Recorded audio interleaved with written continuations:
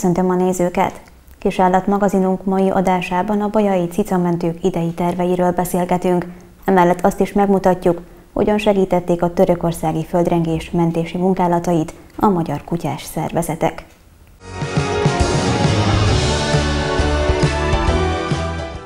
Irodalmi alkotói pályázatot hirdetett az Összefogás a Bajai Cicákért Egyesület. A felhívás témája a világ cica hogy milyen munkákat várnak a szervezők és milyen tervekkel indították a 2023-as esztendőt az állatvédők. Arról a következő percekben Sándor Boglárkával beszélgetünk. Köszöntelek a stúdióban. Én is nagy szeretettel köszöntöm a kedves nézőket itt Micuska nevében is, akit most megkérek, hogy üljön le szépen, jó? Csillagom. Ülj. Felvetődik a kérdés egy pályázat esetében, hogy miért pont arra a témára esett a választás, a ti esetetekben egy irodalmi alkotói pályázatról beszélhetünk, miért pont az irodalom, honnan jött az ötlet, hogy ilyen jellegű felhívásra invitáljátok az érdeklődőket? Nyilván ez egy kicsit távolabbra mutató történet. Akik figyelik a munkásságunkat, és esetleg követnek már minket jó néhány éve, azok tudhatják, hogy a pályázatok azért nem állnak tőlünk olyan távol. Néhány évvel ezelőtt, ha jól emlékszem, akkor épp a legveszettebb Covid időkben hirdettük meg az első pályázatunkat, ez egy fotópályázat volt, a mentett cicák a legszebbek, ez volt a címe, és igazából arra szerettük volna ráirányítani a figyelmet, hogy milyen szép is tud lenni egy olyan cica, akit esetleg nehéz vagy rossz körülmények közül mentettünk és adtunk örökbe, és a gazdinál milyen szépen ki tudott virulni és hát nagy örömünkre ezt rengeteg gazdi és nagyon sok fotó vissza is igazolta. Aztán a rákövetkező évben meghirdettünk egy gyermekrajzpályázatot, szintén a macskák népszerűsítésére több mint 200 rajzot kaptunk.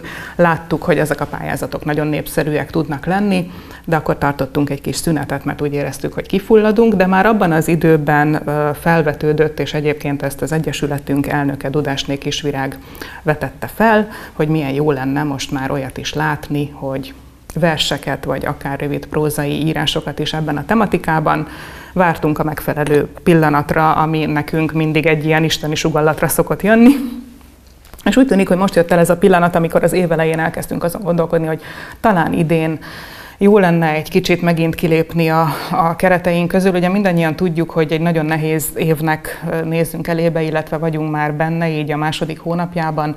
Tudjuk, hogy sok nehézséggel fogunk majd szembenézni, hát az elején akkor próbáljunk meg egy kicsit valami olyan dologgal foglalkozni, ami, ami egy picit túlmutat a nehézségeken, esetleg visszaterel minket valamilyen normálisabb, szebb vagy lelket építőbb mederbe, és úgy gondoltuk, hogy akkor most van itt az ideje, hogy meghirdessük ezt az irodalmi alkotói pályázatot, és talán egy kicsit ezzel a, a pályázni vágyó, vagy kívánó, vagy tudó embereket is kicsit aktiválni tudjuk, ami lehet, hogy nem is baj, amikor ilyen vérzivataros időket élünk.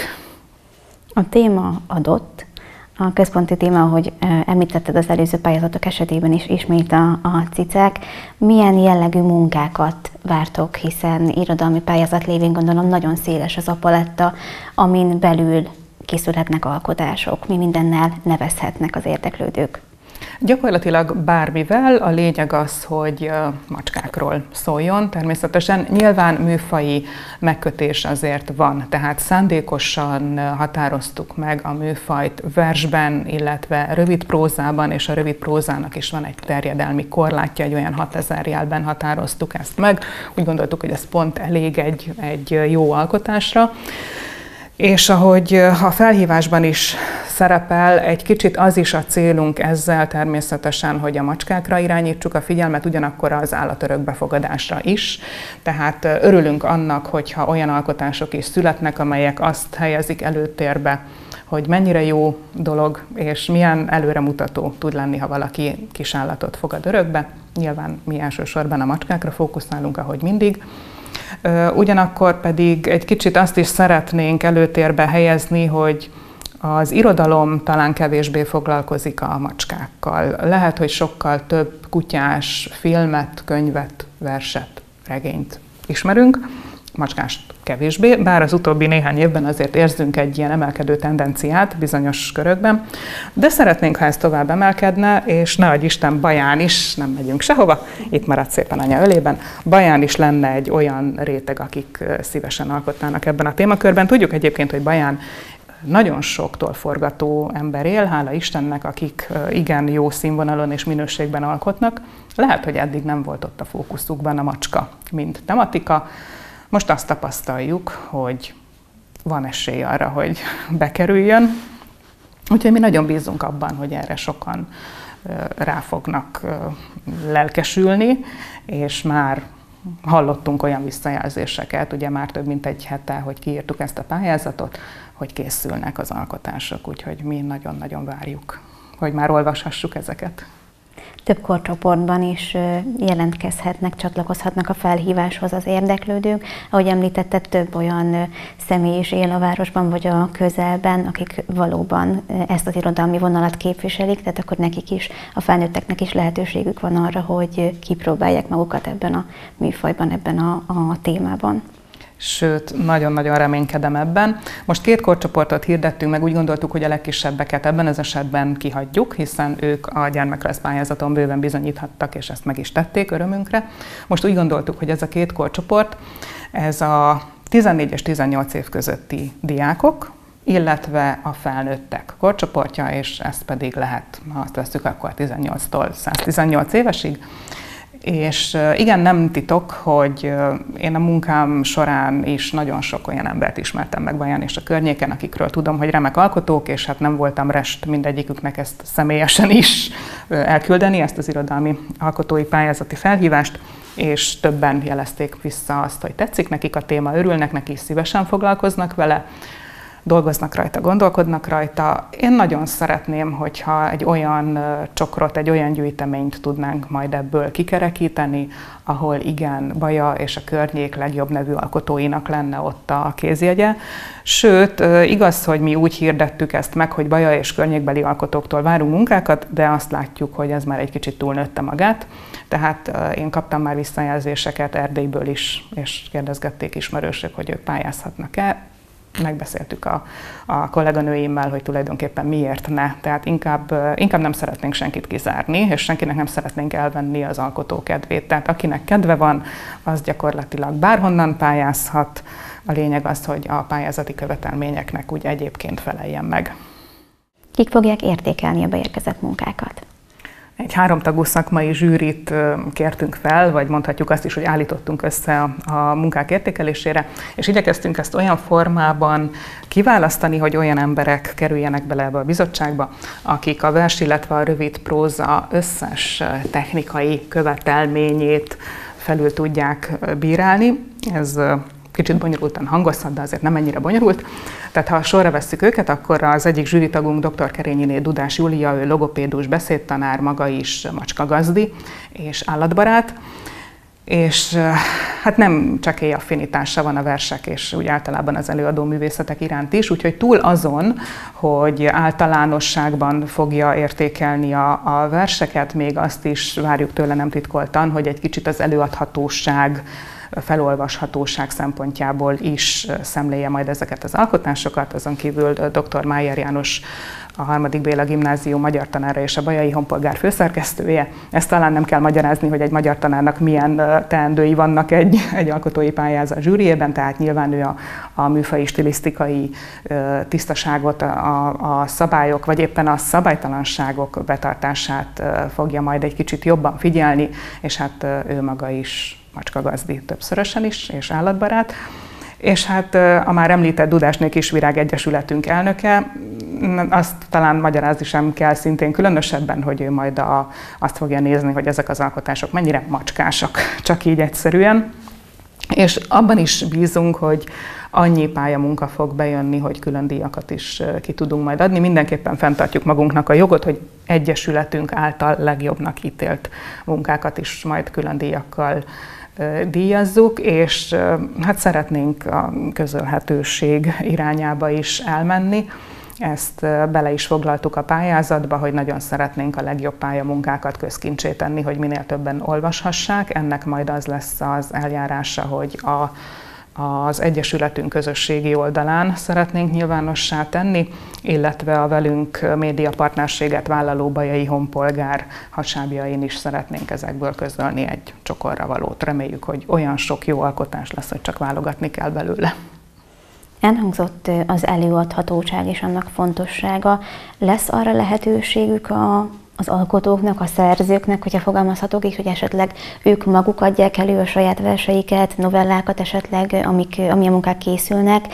Lesz erre lehetőség, vagy elsősorban csak azt várjátok, hogy a beérkezett munkákat ti, illetve a, a zsűri tagjai értékeljék?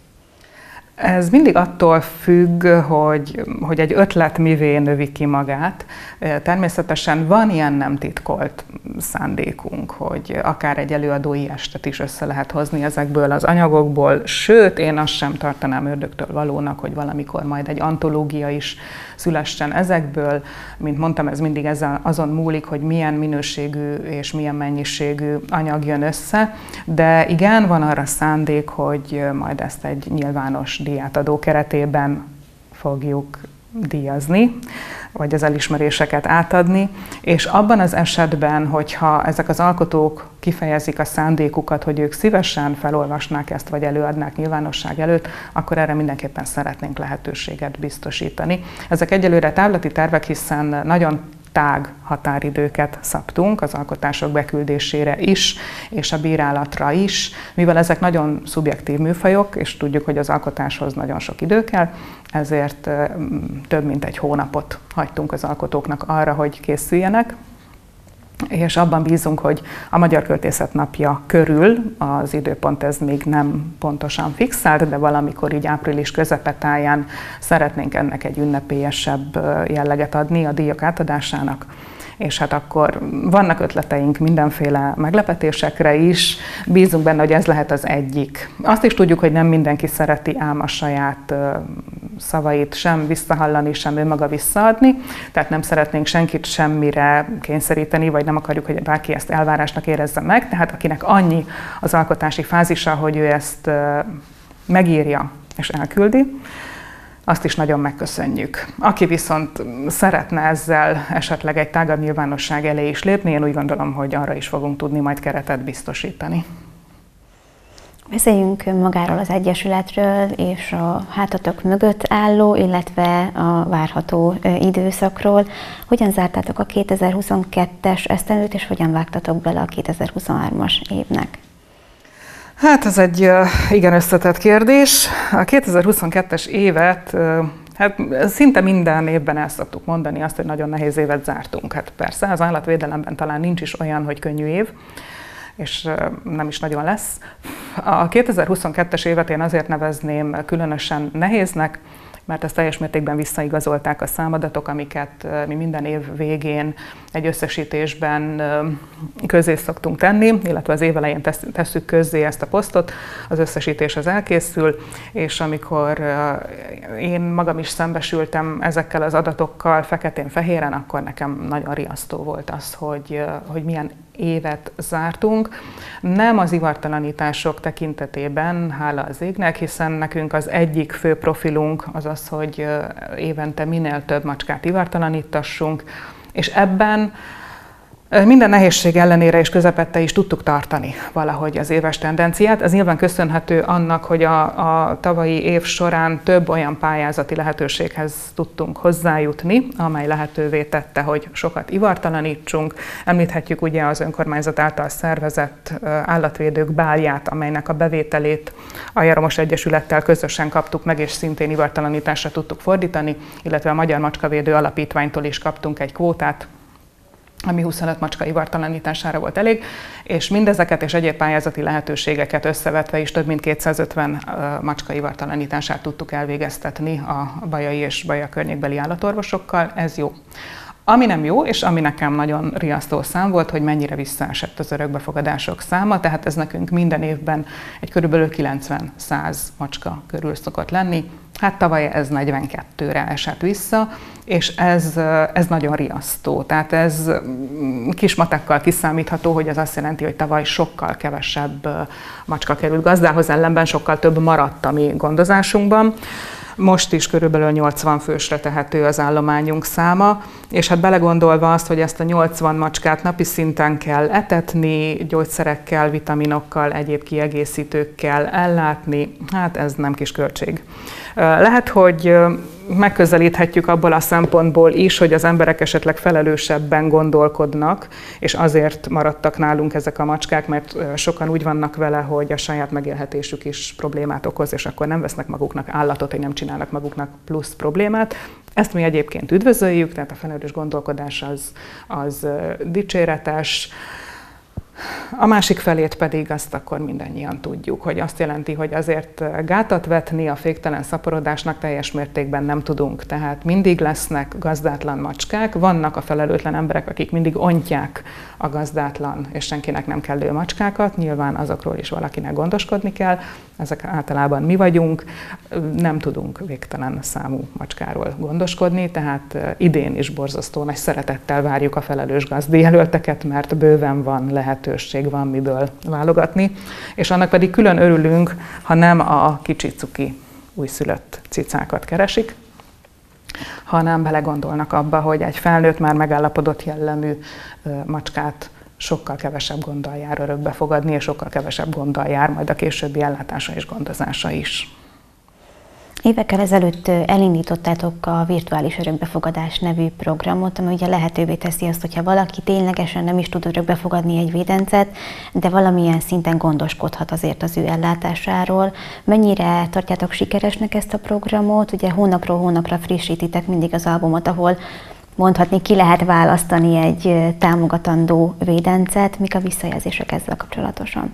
Azt gondolom, hogy talán ez az egyik legsikeresebb programunk, aminek töretlen a sikere azóta, hogy elindítottuk. Nyilván egy kicsit óvatosan álltunk neki, hiszen nem tudtuk, hogy mennyire lesz majd erre befogadó készség, és azt látjuk, hogy van.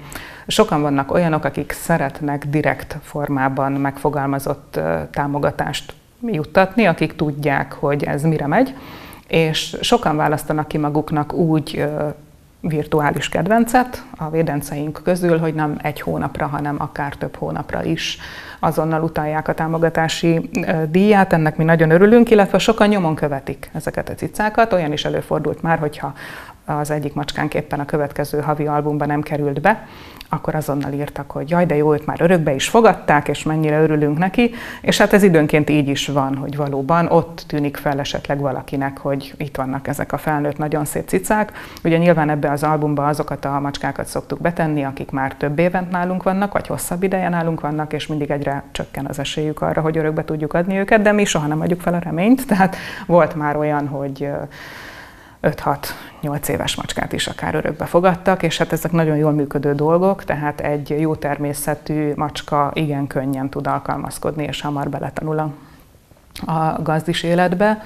Úgyhogy ez a virtuális örökbefogadás sok olyan állandó támogatót hozott nekünk, akik talán maguk is a, az életükben úgy gondolom, hogy ez egy jó leső dolog, hogy tudják, hogy havonta egy bizonyos összeget tudnak nélkülözni, és nem haszontalan dolgokra.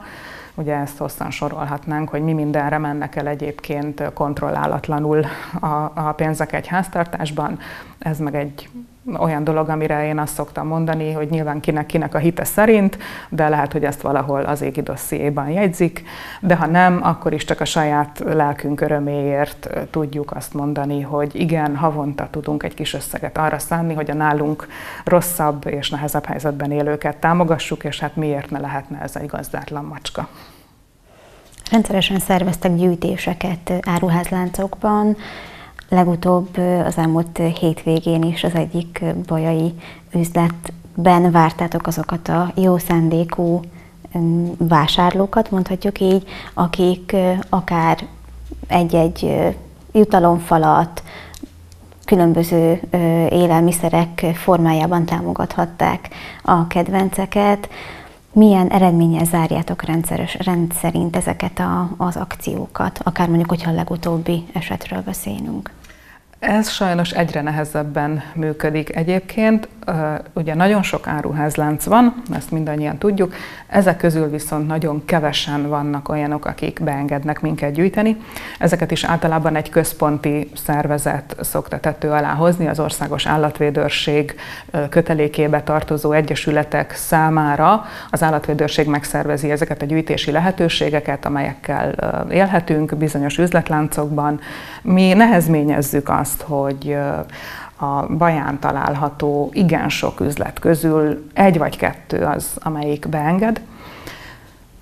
Pedig nagyon sok olyan üzletlánc van egyébként, ahol nagyon jó minőségű állati termékeket, állateledelt és egyéb kiegészítőket lehet kapni, és a mi józan paraszti eszünk is azt diktálná, hogy az az üzletnek csak jó, hogyha a forgalmát ezzel is növeljük, hiszen a mi felhívásunkra és a kutyamentők felhívására is elég sokan el szoktak azért menni vásárolni, tehát hogy ez nekik mindenképpen egy jó dolog lenne valamiért ezzel úgy, úgy sokan nem szeretnek élni. Én nem tudom, hogy miért tartják ezt ilyen ördögtől valónak, hogy odállni az állatvédelem ügye mellé ilyen formában, hiszen gyakorlatilag nem kellene az üzletvezetőnek egyebet tennie, mint azt mondani, hogy akkor ezen a kijelölt két négyzetméternyi helyen meg tudtok állni, szórólapozni, és oda teszünk mellétek egy kocsit, amibe be lehet gyűjteni a, az adományokat. Van, amikor ez jól működik, és van, amikor kevésbé jól, nyilván soha nem eredménytelen, a múlt pénteki adománygyűjtésünk is, hát azt kell mondjam, hogy egy viszonylag eredményes volt, tehát mindig azt szoktuk mondani, hogy ha egy bevásárlókocsira való holmi összegyűlik, az pont annyival több, mint a semmi. Tehát nálunk mindig mindennek megvan a helye, és az utolsó darab tápnak és konzervnek is pontosan tudjuk, hogy hová és melyik ideiglenes befogadónkhoz kell éppen akkor vinni, mert fogynak a, készletek. Jó lenne, hogyha az összes többi áruházlánc is úgy gondolná, hogy, hogy ez nekik üzlet, mert hát miért ne, ez az üzletről szól, és jó lenne, ha ilyen formán tudnánk erősíteni egymás működését, de hát ez egyelőre egy oldalúnak tűnik. Tehát mi mindig készen állunk bármire, a befogadókészség az, ami, ami időnként hibázik. Ha valaki szeretne titeket segíteni, akár anyagi hozzájárulással, akár a virtuális örökbefogadással, vagy ne talántán az áruházakhoz hasonló módon szeretne esetleg eljutatni hozzátok egy-két alapvető felszerelést, akár élelmet, mire, lenne, mire van a legnagyobb szükség, mit vártok? Voltak már ilyen kérdések a tavalyi év végén is, és, és idén is év elején, amikor jó szándékú emberek kérdezgették, hogy mire van szükség. No, én erre azt mondtam, amit egyébként nem szoktam, hogy akkor most teljesen menjünk le az alapokhoz, és csak arra gondoljunk, hogy nekünk 80 macskát etetni kell napi szinten. Tehát ha megkérdezték, hogy mi kellene, akkor azt mondtam, hogy ami ehhez kell. Tehát macskatáp, illetve alom, hiszen a macskáinknak a döntő többségét benti körülmények között tartjuk, tehát ők szobatiszták, és ezért nagyon sok alomra van szükségünk. És amikor volt, aki ennél tovább ment, és mondta, hogy jó, de hát állatgyógyászat, meg orvosi szerek, akkor mondtam, hogy maximum a bárkinek adható multivitaminok immunerősítők. Tehát nem tudunk ennél, vagy féreghajtók, nem tudunk ennél differenciáltabbak lenni, hiszen gyakorlatilag minden macskának mások az igényei, és amennyiben beteg, vagy súlyos műtét előtt vagy után gondozott macska van a, a az ellátásunkban, akkor az ő esetét mindig egyénileg kezeljük, és egyénileg próbálunk rá megoldásokat találni. Ami a legfontosabb és a legáltalánosabb az az, hogy a macskáinkat etetni tudjuk és alommal ellátni. Úgyhogy aki úgy gondolja, hogy ebben bármilyen formában tud segíteni, nyilván megköszönjük és nagyon hálásak vagyunk érte és rendelkezésre áll a közösségi oldalunk, ahol üzenet formájában fel lehet venni velünk a kapcsolatot, illetve az e-mail címünk a bajaicicákukac.gmail.com, ahol igyekszünk lehetőleg minden megkeresésre válaszolni. Említetted, hogy az elmúlt év nehéz volt, nehéz évet zártatok. Mit vártok az idei esztendőtől? Nagyon sarkosan fogalmazhatnék úgy, hogy a túlélést várjuk. Ennél azért egy picikével többet. Szeretnénk nyilván szinteket lépni, de azért megvalósíthatatlan célokat nem tűzünk ki magunk elé. Úgy gondolom, hogy ez a jó néhány év, amit már eltöltöttünk ebben az ágazatban, az eleve nem teszi lehetővé, hogy különösebben nagy légvárakat építsünk. Nagyon fontos lenne az, hogy minél több macskát tudjunk örökbeadni, hiszen most ugyan még csak februárt írunk, de nem fog beletelni túl sok időbe, egy-két hét, és elkezdenek majd özönleni a kis cicák, és jönnek majd a megkeresések, és sajnos jönnek az ennél szomorúbb, nehezebb helyzetek is, amikor tudjuk, hogy még mindig nagyon sokan szabadulnak meg a nem kívánt szaporulattól, és amikor fel fog szaporodni az állományunk száma riasztó mértékben. Úgyhogy a szemléletváltást várnánk nagyon nagyon nagy lelkesedéssel, és ebben természetesen szívesen segítünk is, mint ahogy tevőleges segítséget is szívesen nyújtunk abban, hogyha valaki nem tudja esetleg anyagi okokból a macskáit ivartalanítatni, akkor ebben bármikor számíthat ránk, hogy segítünk. Nyilván a cél az az lenne, hogy, hogy minél többen felismerjék annak a jelentőségét, hogy ezek a velünk mellettünk élő kisállatok is értékesek, és vigyáznunk kell az életükre, ez pedig nem jelenti azt, hogy felelőtlenül és gátlástalanul szaporítjuk őket, hanem visszaszorítjuk és egészséges, egészséges keretek között igyekszünk tartani őket. Úgyhogy nekünk ez a mindig hosszú távra kitűzött célunk, ezért dolgozunk, ebben reménykedünk, és ugyanakkor meg abban nagyon bízunk, hogy a nálunk lévő most 80 fős állománynak a nagy részét idén azért sikerül majd jó helyre és jó gazdákhoz juttatni.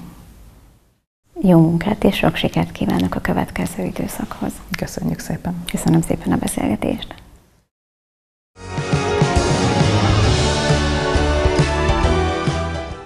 Az egész világot megrázta a törökországi földrengések híre, amely során komplet városrészek váltak a földdel egyenlővé.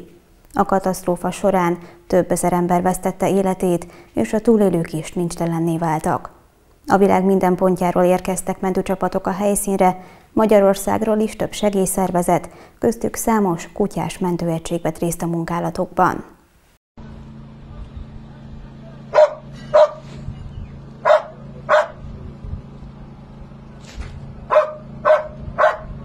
Az elmúlt napokban a világ egy emberként figyelte a Törökországban és Szíriában pusztító földrengés helyszínein folyó mentési munkálatokat. Rengeteg magyar szervezet és mentőkutyás egység indult útnak a tragédia hallatán, és fáradtságot nem ismerve vettek részt a kutatásban és a túlélők mentésében. Február 6-án török idő szerinti 4 óra 17 perckor a Richter skála szerinti 7,6-os, majd 7,7-es erősségű földrengés volt, amelyet február 6-a óta több mint 3000 utórengés követett. Február 14-i adatok szerint a katasztrófában több mint 35.400 ember vesztette életét. Szíriában legalább 5900 halottról tudni. Törökország az Európai Veszélyhelyzet Kezelési Központ online felületén a katasztrófa reggelén kért segítséget az Unió tagállamaitól, amelyre Magyarország az elsők között reagált, így hamarosan elkezdték megszervezni a Hunor mentőszervezet kiküldetését Törökországba. Nagyon jó fajtok! A segélykérést követően 116 főből és 19 mentőkutyából álló magyar mentőegység érkezett a helyszínre, ahol azonnal megkezdték a mentési munkálatokat. Több magyar csapat, köztük a Baptista Szeretett Szolgálat, a Baráthegyi Vakvezető és Segítő Kutyaiskola Alapítvány és a Rescue 24 tűzoltó és kutató mentő nemzetközi csoport utazott a földrengés helyszínére. Hat napi kutató mentő munka után, február 13-án nem sokkal éjfél után hazaérkezett a Hunor mentőszervezet 50 fős csapata és a vele együtt tevékenykedő 5 katonaorvos. A csapatot a Liszt Ferenc nemzetközi reptéren köszöntötték az Országos Katasztrófavédelmi Főigazgatóság és a Magyar Honvédség képviselői. A magyar csapatok hathatós munkájának köszönhetően számos túlélőt sikerült kimenteni a romok alól.